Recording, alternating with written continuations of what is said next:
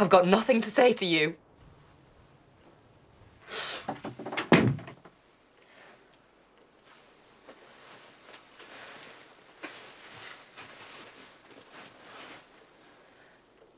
You deserve better than.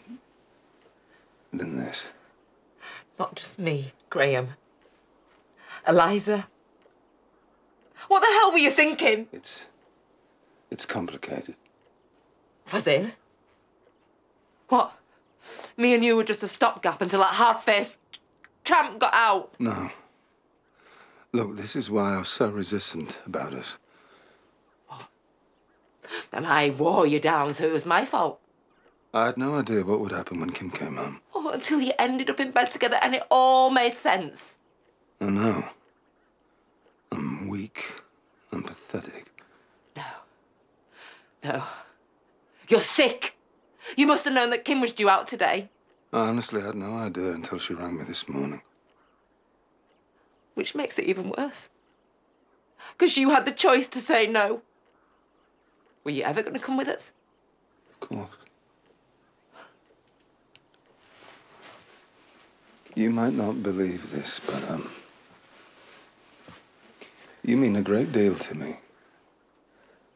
I really wanted it, the whole thing. It's just. You wanted Kim more.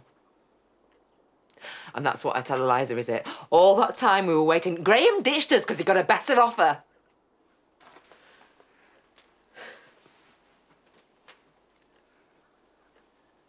I didn't want you getting messed up in this. Yeah, well, it didn't stop you when you were a messed up drunk.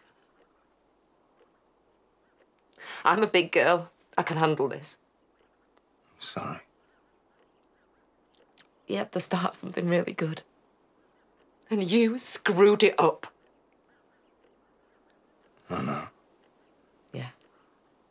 Well, you don't get a second chance. So good luck.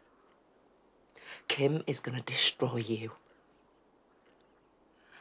Now get out.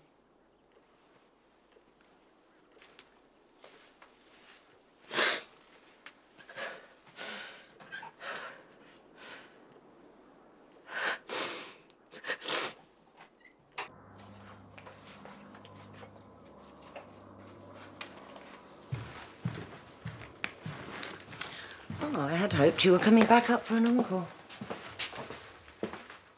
Apologies. Blackpool off. Well, this uh, wasn't quite how it was meant to pan out, but I suppose at least she knows now. Hmm? About us. Us? Yes. The us that just had sex. Twice. Uh, look, we are on the same page here. You didn't seriously end it with Megan on my account. Bit late. She did pretty much catch us in bed together. And you weren't exactly discreet. Hey, you getting caught with your pants down's hardly my fault. Like this was ever some grand reunion. We had fun.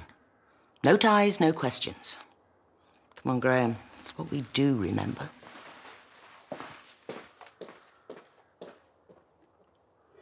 I definitely like cats more than dogs because you don't have to walk cats. Hey, she wolfed down all her lunch. Great.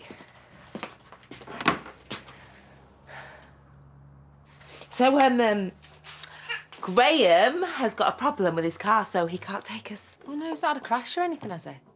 Sadly not. Right, let's get your coat on because me and you have got Beatrix Potter World to go to. What a completely useless, low-down piece of...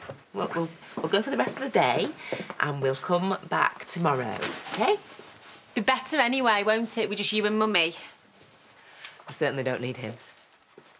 Right, come on, sweetheart, let's go.